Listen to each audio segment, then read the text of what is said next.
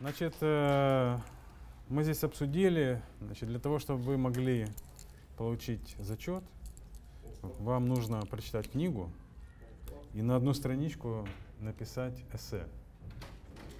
Книга нелегкая, сразу говорю. Э, Книга нелегкая, но я прошу просто ее прочитать, да. Вот. А, Причем хочу, чтобы вы обратили внимание, что, что именно от вас я хочу. Значит, прочитать книгу, так, А, напишите там фамилия ваша там и так далее, да. Потом вы должны написать, сколько страниц вы прочитали. Честно. Честно Вот этой книги дорогой Да. А до какого времени? До, до какого? Ну, до пятницы понятно, что вы не успеете. А, ну, давайте, а, например, к концу следующей недели вы... То есть у вас будет неделя. Я думаю, хватит вам недели? А Да. Нет, я не буду с вами следующую неделю. Нами. Вот. Ну, к концу следующей недели вы должны будете прочитать и сдать один листик, на котором будет написана ваша фамилия, и вы скажете, сколько страниц вы прочитали. А? И книги, комментарии, ну, конечно же. Ну, небольшой, как бы. То есть, о чем вы читали. Своими словами просто, о чем вы читали. Можете написать, э, это такое, как пусть будет небольшая как бы критика такая, или что вам понравилось, или что вам не понравилось. Вы запомнили, да? Да, да, да. Ну, как бы, что вы там, э, сколько страниц вы прочитали, э, что вам понравилось в этой книге, что вам не понравилось в этой книге. Может быть, что-то вас впечатлило, знаете, там особенно. Может быть, что-то нет, да. Книга, да, она идет, она не роман, понимаете, да? То есть она э, такого богословским, с богословским языком, поэтому Ну, это А. нормально. да. Поэтому нужно, ну, как бы она не читается так, как, знаете, как читается какая-нибудь художественная литература. Вот. Но это, она читается как учебник, конечно. То есть ей надо поработать. Ее надо просто прочитать. На самом деле нужно просто принять решение, сесть и прочитать. Мы уже говорили, помните с вами, что очень важно принимать решения. Вот. Дело же не в этом. Просто она не сложнее. Да я уже начал читать, она интересная, очень. Просто самое главное, чтобы оно в будущем работало при оно не запомнится на раз 10 и прочитать, чтобы Ну, э, просто вы будете как бы в курсе, знаете. Да, представление о разных каких-то вещах. Хорошо, давайте на этом закончим наш разговор. Значит, мы вчера остановились с вами, э, мы сейчас разбираем три основные, да, такие ереси, которые присутствовали в Новом Завете и с которыми, можно сказать, вели полемику э, авторы новозаветных посланий. Значит, мы говорили вчера об иудействующих, да? Ну, у меня вопрос. э, И мы хорошо прошли по Что-что? 17 главе. Я говорю, хорошо прошли по 17 главе. Хорошо, да. 19 какой вопрос? А, у меня вопрос связанный вот с чем. Э, так кто же такие иудействующие? О, это серьезный хлопцы. Но вчера мы... Которые Конфликт между, а, между христианами, которые уверовали из язычников, язычниками. то есть и Ну, так называемых еленов, которых э, были ну, греческими язычниками. это которые, евреи. которые а, стали христианами, Мгм. которые создавали конфликт между христианами, которые язычниками. И они говорили, что надо обрезываться и Да, соблюдать обряд, вот это обрезание. Хорошо, все правильно. Одну только мысль я не услышал от вас. По поводу э, иудействующих, э, какую я именно мысль не услышал от вас в данном случае, это вопрос, связанный с тем, что почему они настаивали, Они защитники были иудейской веры.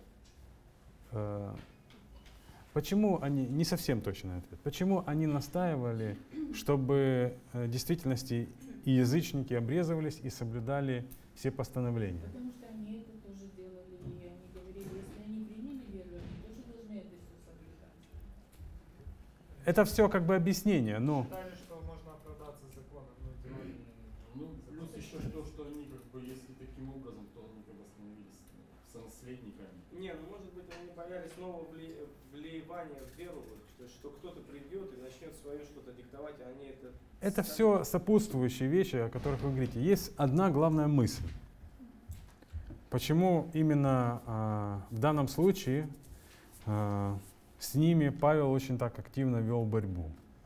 Потому что они считают, что рождение ну, имеет основную задачу. То есть принадлежность к еврейству. Вот, это уже ближе. А, Весь смысл заключен в том, что в их понятии недостаточно получалось было жертвы Христа. Для того, чтобы иметь отношения с Богом, нужно было также еще и обрезываться и следовать всем постановлениям, которым они следовали. Понимаете, да? То есть Христос, да, они его приняли как Мессию, в действительности они уверовали в него, приняли как Мессию, но их идея была заключена в том, что все равно для того, чтобы иметь эти взаимоотношения с Богом, для того, чтобы иметь эту праведность, нужно продолжать следовать всем постановлениям. Понимаете, да? В этом была проблема. Среди Поэтому- есть. А? Среди нас тоже такие есть. Поэтому есть. э, И сегодня эта проблема, я уже говорил вчера, э, не хочу как бы сильно много к этому возвращаться, сегодня эта проблема также возникает среди мессианских общин, в результате чего как бы мы имеем определенные как бы нервозные взгляды со стороны наших братьев из церквей. И это все связано с тем, что ну, как бы появляются люди, которые говорят, что необходимо следовать всему этому. Вот. Но основная идея э, заключается в том, что в итоге это следование обрезанию, всем традициям, обрядам и так далее, как бы смещает с центра Мессию и замещается этим. Понимаете, да? Происходит смещение. То есть в том отношении, что можно ли сегодня обрезываться и соблюдать обряды? Можно, можно. Но при, но при этом мы должны помнить, мы при этом должны помнить, что это никаким образом не отразится на наше спасение. Это никаким образом не сделает нас ближе или дальше в отношениях с Богом. Да, может быть, это может нас дисциплинировать, там еще как-то и так далее. То есть это, но это есть основное, что спасение мы получаем через веру, через Мессию Иисуса, и что все взаимоотношения с Богом можно иметь только через Него. Все остальное это может быть как сопутствующее, может быть даже помогающее в чем-то и так далее. Поэтому есть, знаете, и в христианстве достаточно много сегодня различных каких-то правил, постановлений и так далее, то есть, которые на самом деле э, в разных деноминациях могут исходить по разным, знаете, стандартам и так далее. И многие особенности, когда начинают спорить, спорят именно об этих вещах. Как вы поклоняетесь, как вы поете, а вы не поете и так далее. То есть, причем э, учитывать надо то, что это не является догмой да, в отношении того, что это не является важным в отношении спасения. Понятно, да? У каждого есть своя культура. Ну хорошо, не хочу возвращаться к вчерашнему. Просто хотел точно ну, увидеть, что вы осознали и поняли, о чем шла речь в отношении иудействующих. Значит, сегодня мы будем говорить э, еще о двух ересях. Это антиномизм и гностицизм. Антиномизм. Вначале поговорим об этом. Антиномизм.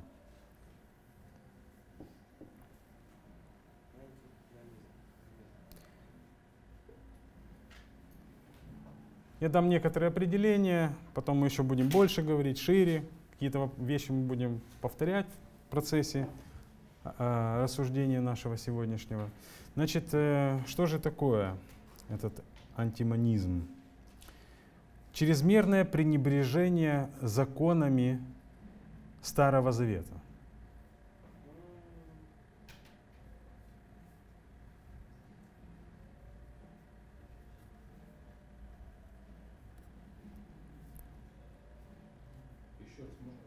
Да. Чрезмерное пренебрежение законами Старого Завета.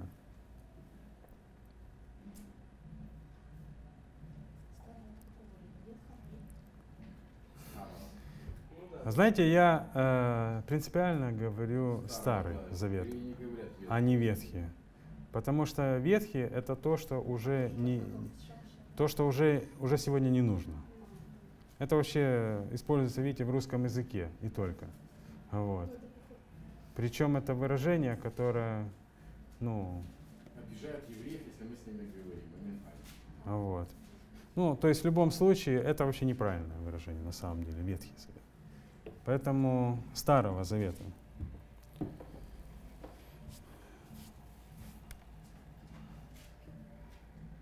А более того, знаете, мое мнение, что, например, для верующих из тех, которые пришли из неевреев, да, для них вообще не существует Старого Завета.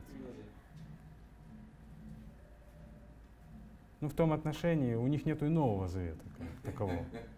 У них есть завет, понимаете, да? Потому что на самом деле, если мы говорим о Новом Завете, то это мы можем говорить только в отношении именно израильского народа, в том смысле, что у них был Старый Завет, и потом был Новый Завет.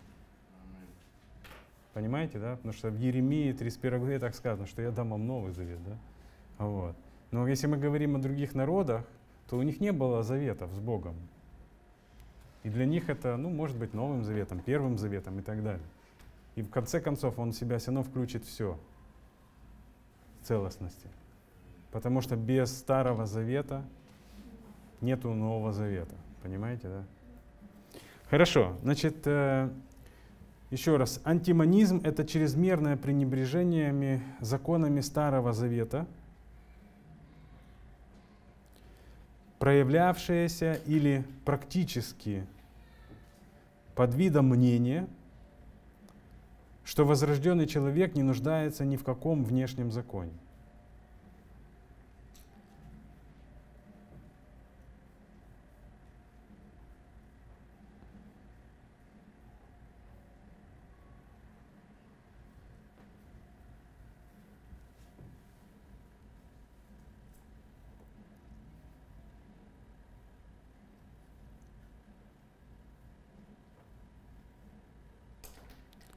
Так как все его поступки хороши. Или же теоретически в учении, что человек евангельским учением приведен к покаянию, и поэтому ему не нужно изучение старого закона. Мы несколько определений можем записать, а остальное вы записываете, знаете, то, что вам ну, будет э, ну, интересно. Да? Значит, чрезмерное пренебрежение Старого Завета, проявлявшееся под видом мнения, что возрожденный человек не нуждается ни в каком внешнем законе, так как все его поступки хороши.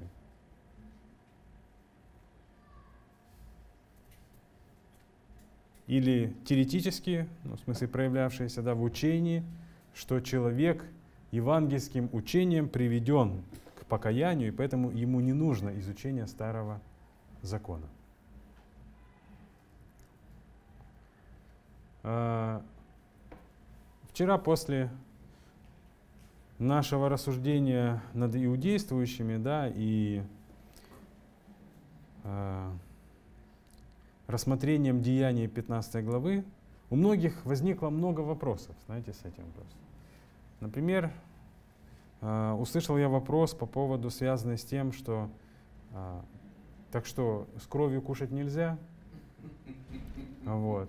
Потом э, вопрос, так какое к нам отношение вообще имеет Старый Завет? Ну, в данном случае Ветхий, да, говорили, ну, Старый Завет. Так что нам нужно следовать действительности сегодня каким-то этим правилам и постановлениям и так далее. То есть много возникло вопросов. Ну, и это хорошо, что есть вопросы. А? Ну, свининку мы не будем трогать. Вот. Значит, смотрите. То есть о чем здесь идет речь? Это речь идет о том, что люди, которые пришли к покаянию, да, через Мессию Иисуса, получили прощение в своих грехах, и в конце концов, осознавши, что в действительности они все это получили по благодати и милости Божьей, и что закон теперь над ними не имеет власти, они стали говорить, что если мы живем по благодати, и все нам прощается, то в результате зачем нам нужен, нам нужен нравственный закон Старого Завета? Это означает, что если есть сегодня такая благодать, которая покрывает все наши грехи, то мы смело можем жить свободно и вольно. В том отношении, хочешь, прелюбодействуй, хочешь, кради, хочешь, бери еще что-нибудь. То есть, потому что все позволительно тогда. Вот это была как бы такая основная идея вот этого э, антиномизма. И знаете, первое, где мы можем увидеть сразу же выражение, это во втором послании Петра,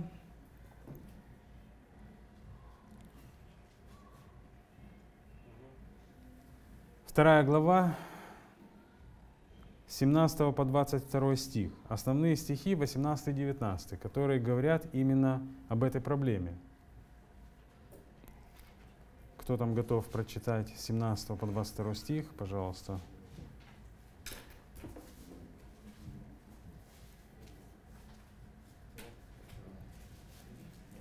Да.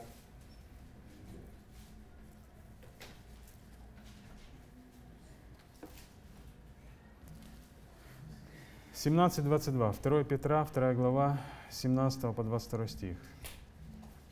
Это безводные источники, облака и, м- и мглы, гонимые бурей. Им приготовлен брак вечной тьмы. Ибо, произнося надутое пустословие, они уловляют плотские похоти и разврат тех, которые едва отстали от находящихся в заблуждении. Обещают им свободу, будучи сами рабы тления. Ибо кто кем побежден, тот, ему, тот тому и раб. Ибо если, избегнув скверн мира через познание Господа и Спасителя нашего Иисуса Христа, опять запутываются в них и побеждаются ими, то последние бывают для таковых, для таковых хуже первого. Лучше бы им не познать пути правды, нежели познав, возвратиться назад от преданной им святой заповеди. Но с ними случается по верной пословице. Пес возвращается на свою блевотину, и вымытая свинья идет валяться в грязи. Ну, э, я понимаю, что вы неоднократно, да, слышали этот отрывок из Писания, но читали, надеюсь, сами тоже. Вот. И обычно, когда мы слышим об этом отрывке Писания, то о чем говорят?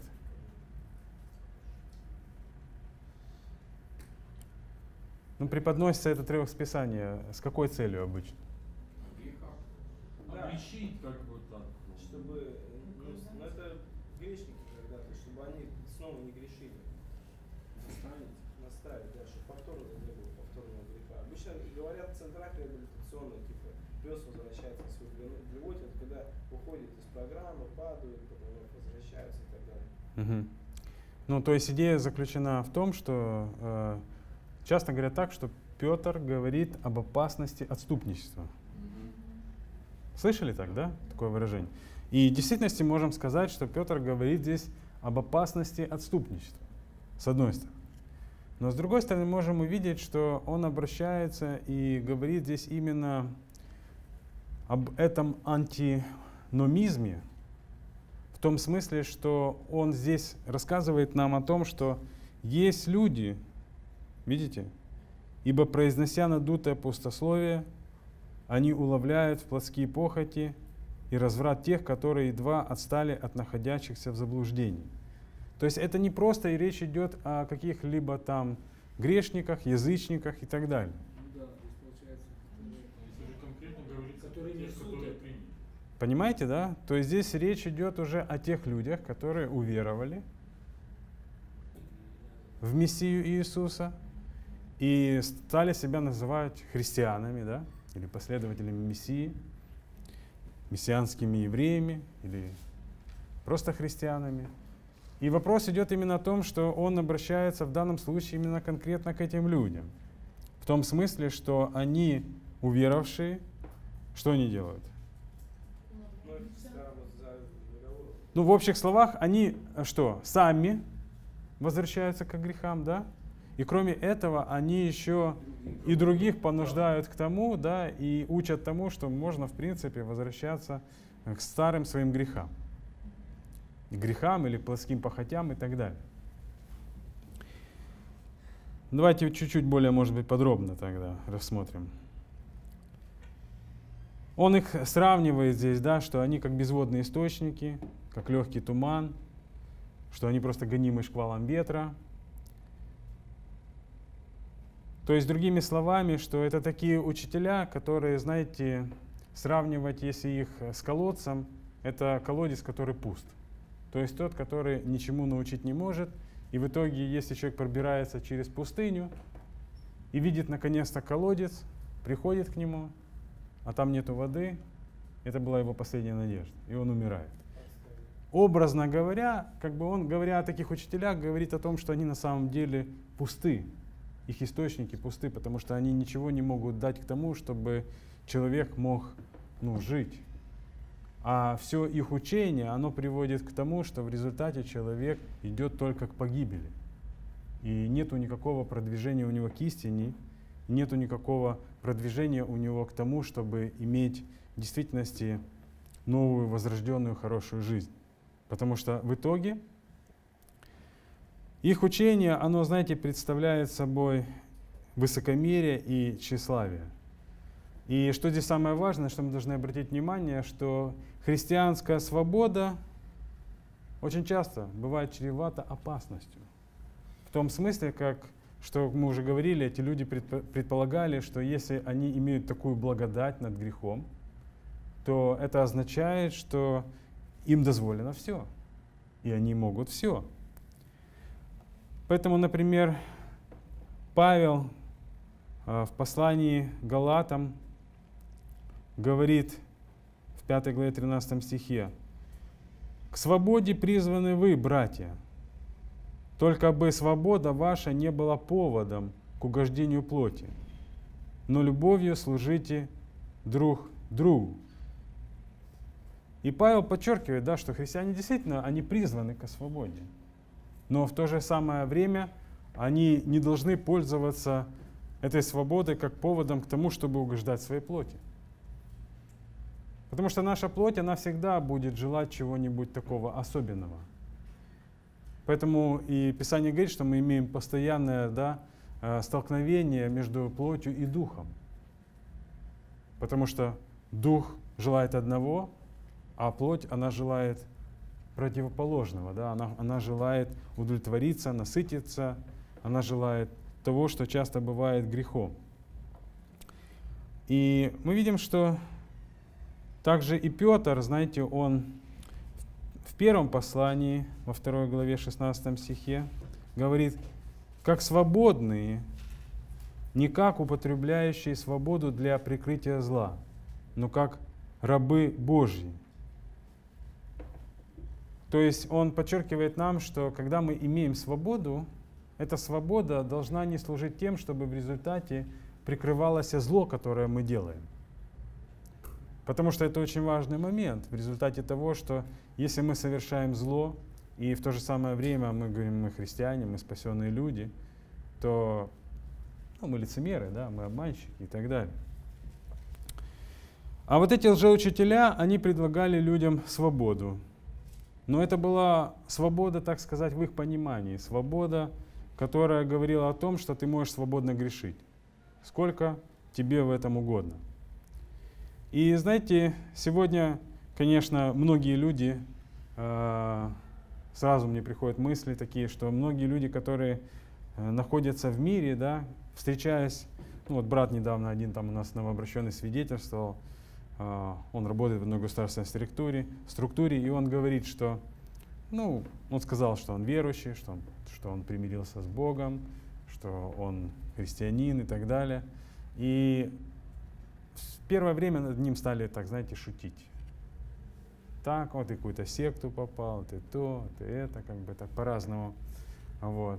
Потом э, они увидели, что это все серьезно. То есть, что это, знаете, не какая-то минутная слабость, что это не шутка. что в действительности человек стал меняться, резкие изменения такие, он не, не остается в их обществе, когда они пьют, он э, перестал курить, знаете, то есть там э, они не слышат от него плохих выражений, и они стали на него смотреть более серьезно, как бы, потому что там нужно предпринимать некоторые вещи, которые, знаете, ну, противозаконны, и он говорит, э, я готов делать любую работу, копать, копать, пожалуйста, если нужно там, ну, это так условно, потому что он там занимает положение. Он говорит, но не предлагайте мне ничего делать противозаконно. Я не буду это делать. И это их еще приводит в большее замешательство. Но, знаете, с одной стороны, интересно, что начальство смотрит на него с определенным уважением. И ему перестали предлагать какие-то такие варианты, где нужно вот как-то себя так вести, не, непонятно. Но с другой стороны, например, он говорит, ну они меня попросили поддежурить там на 31 число, ну, там на, на, на этот э, в Новый год, говорит, ну не в ночь, а там надо было в течение дня дежурить. А вот. Они сказали, ты же все равно не пьешь. Он говорит, хорошо, я, я пожалуйста, я останусь, подежурю там и так далее. То есть, или какие-то такие еще моменты, знаете, то есть там, а вот. Но при этом, при всем, вдруг появилось такое интересное мнение. Когда они уже осознали, что ничего не может его как бы достать, да, то есть они уже его ничем не достают, они стали ему говорить, ну ты же на самом деле не свободный человек. Он говорит, почему? Ну вот мы свободные. Мы захотели, пошли налево, захотели, выпили, захотели, покурили, захотели, украли, и знаете, я подумал, что в действительности их взгляд, он подобен, хотя это просто неверующие люди, да? Это обычная как бы позиция неверующего человека. Но насколько она похожа на взгляд и на эту ересь, которая была вот этот анимизм, да, аномизм, то есть в том отношении, что мы уверовали Христа, Он покрыл нас своей благодатью, и в результате мы сегодня свободны в том отношении, что мы можем свободно делать все, что нам приходит в голову. И в действительности свобода же не в этом. Свобода заключена в том, что ты имеешь выбор и право не делать то, что делают все. Что ты имеешь выбор и силы для того, чтобы не становиться под иго греха, да? а быть на самом деле свободным от того, чтобы сказать, нет, я это не буду делать. Потому что я подчиняюсь воле Божьей, и я свободен от того, чтобы не грешить. Итак, в итоге э, один римский философ, стоик, имя которого Синека, сказал такие слова. Самое худшее рабство – быть рабом самого себя. Самое худшее рабство – быть рабом самого себя – и Петр здесь в действительности, знаете, в этом отрывке он показывает нам, что эти лжеучителя были на самом деле сами рабами. И пытались своей такой вот, ну, как бы предполагаемой свободой всех остальных людей, которым они проповедовали, что можно быть свободными, а, таким образом они на самом деле вовлекали этих людей в рабство – И здесь в основе этого всего лежит ересь, которая делает благодать оправданием греха вместо силы и призыва к великодушию.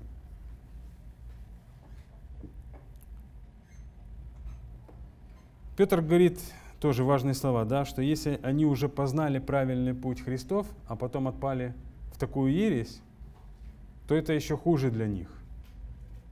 И в итоге они подобны человеку, знаете, из притчи, которую говорит Иисус в Евангелии от Матфея, 12 главе, 43-45 стих. Когда нечистый дух выйдет из человека, то ходит по безводным местам, ища покоя, и не находит. Тогда говорит, возвращусь я в дом мой, откуда я вышел. И придя, находит его незанятым, выметенным и убранным. Тогда идет и берет с собой семь других духов злейших себя и, войдя, живут там, и бывает для человека того последнее хуже первого. Так будет и с этим злым родом. И в действительности, знаете, в конце концов, э, мы можем видеть, как люди, которые, познавшие Христа, даже сейчас можно говорить и об отступничестве, конечно, в этом контексте мы можем видеть и то, и другое.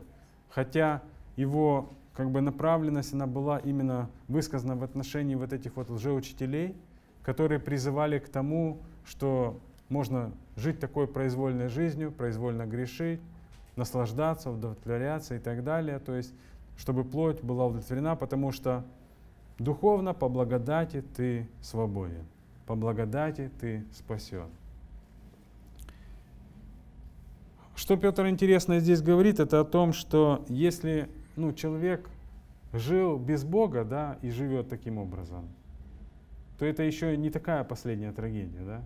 Но на самом деле, как намного страшно и худше в том смысле, что если человек уже познавший Бога, и в результате этого возвращается к этой греховной жизни, в которой он жил.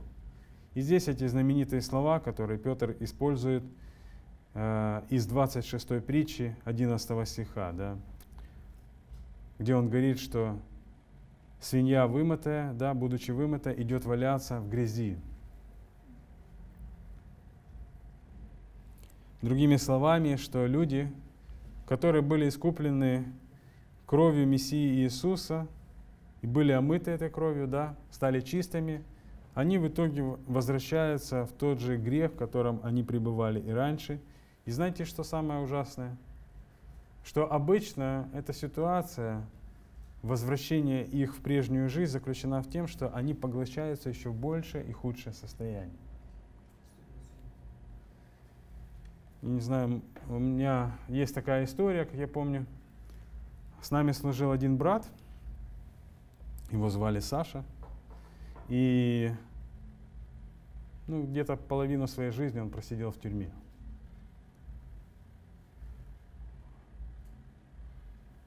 У него отец просидел всю свою жизнь в тюрьме, и они и имели, ну, сидели в тюрьме, когда последний срок он сидел свой, перед тем он уверовал в тюрьме. И отец его сидел в той же тюрьме, и он умер там, в этой тюрьме. И вот э, в этот момент он там уверовал. Как он выражался, он пострадал за Христа, там его там избили там и так далее, то есть ну, разные вещи.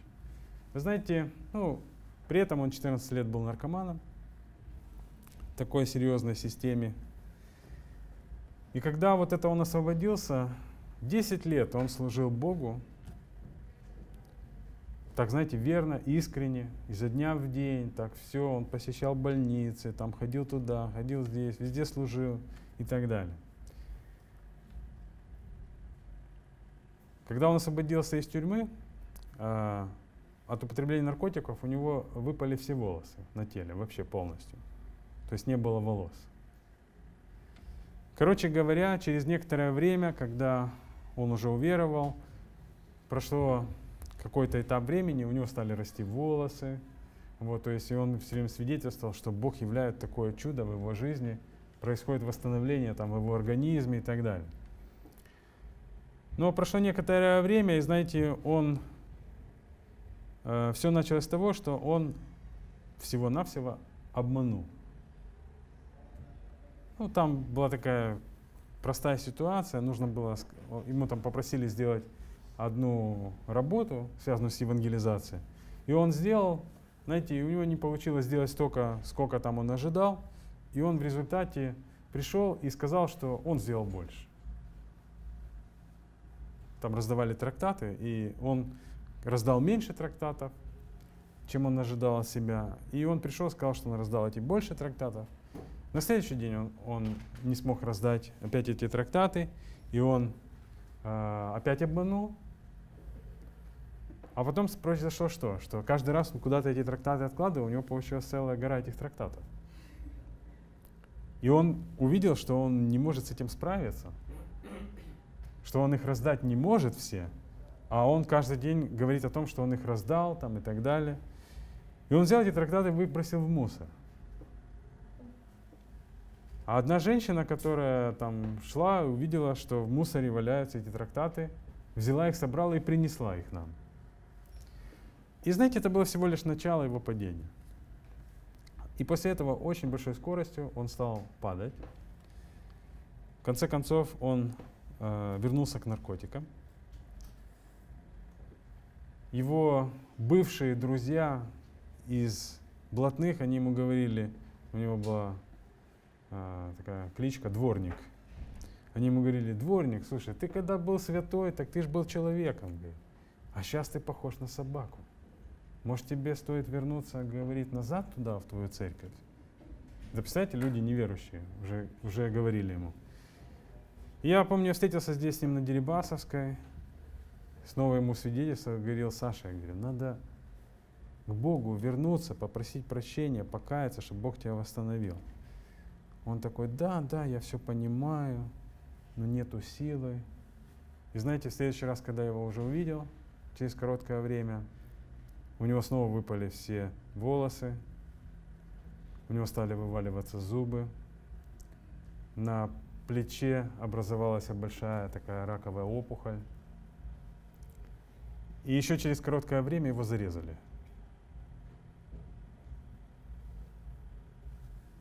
Эта история, она очень, знаете, сильно подчеркивает то, что здесь говорит Петр.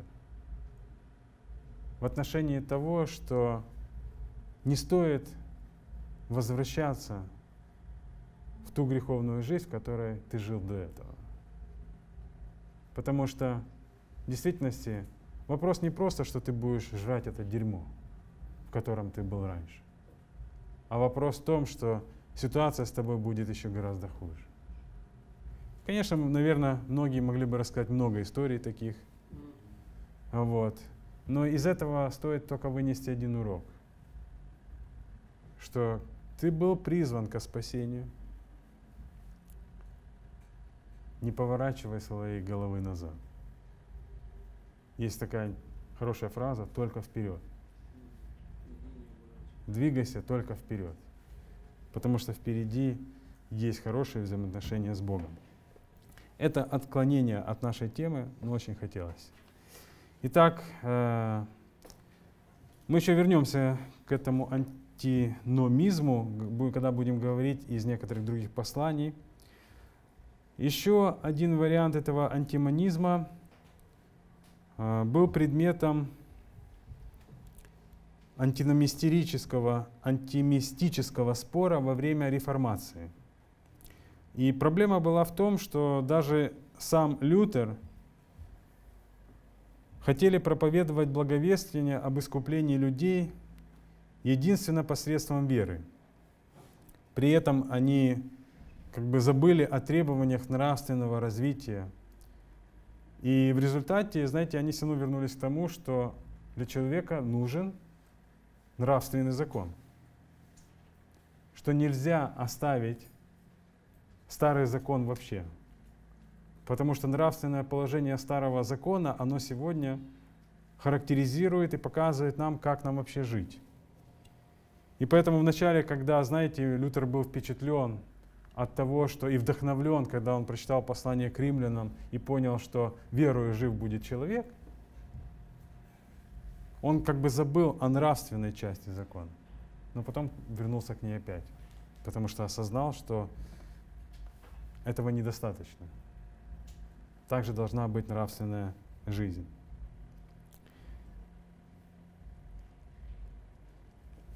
Следующая ересь, о которой мы сегодня говорим, это гностики. Это то, что, наверное, больше всего на слуху, да, больше как бы является такой слышимой частью, что вот гностики, гностицизм и так далее – в переводе с греческого языка имеет значение это слово познавание, узнавание и знание. Познавание, узнавание и знание.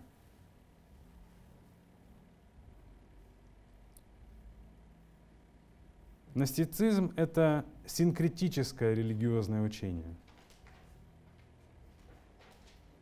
Синкретическое религиозное учение.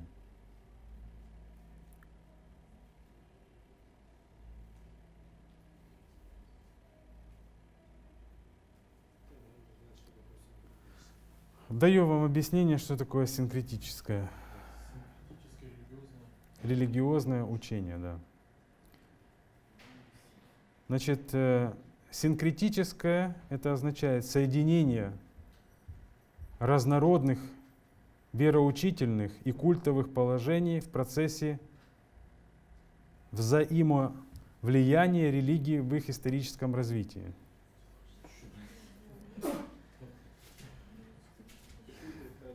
Соединение разнородных вероучительных и культовых положений. Ну, можно на этом бы остановиться, но если вы хотите полностью определение, чтобы понимать. Соединение разнородных вероучительных и культовых положений. Ну, культовых положений. То есть что, что в культе является различным положением? Пункт 1, пункт 2, пункт 3. В процессе взаимоявления религии в их историческом развитии. В процессе взаимоявления религии в их историческом развитии.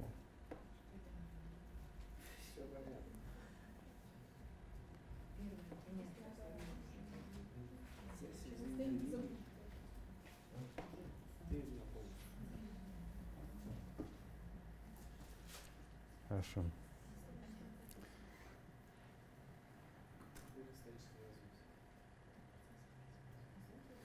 Значит, э, когда мы говорим о э, гностицизме, то есть это синкретическое религиозное учение, да, которое объединяет в себе воззрение греческих, филос- э, греческой философии, иудейского богословия и восточных религий. То есть поэтому оно синкретическое, потому что оно в себе объединяет несколько видов различных религиозных учений. И сделает такой микс. Ну, еще? раз. Объединяет в себе воззрение греческой философии, иудейского богословия и восточных религий.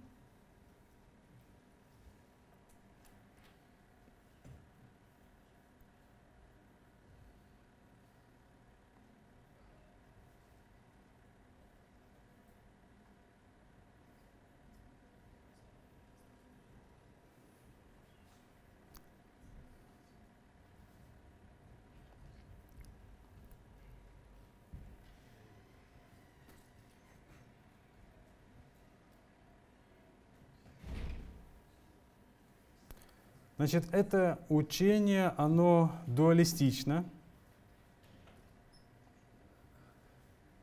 Дуалистично.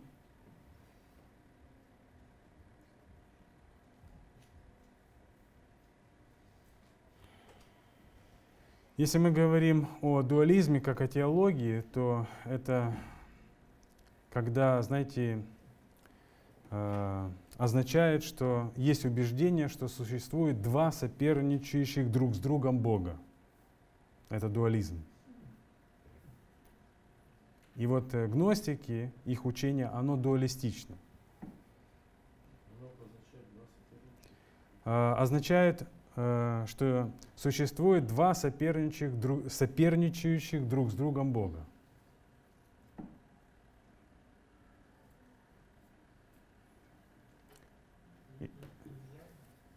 А? Да, В смысле? Ну, восточные культуры больше увлекаются. А, понятно. Ну, в данном случае имеется в виду, что э, существует, ну, мы сейчас это будем рассматривать, что есть как бы источник добра и источник света. То есть в этом отношении источник зла, источник добра. Ну, это можете не писать, мы сейчас будем все рассматривать. Просто сейчас перемена. Вот.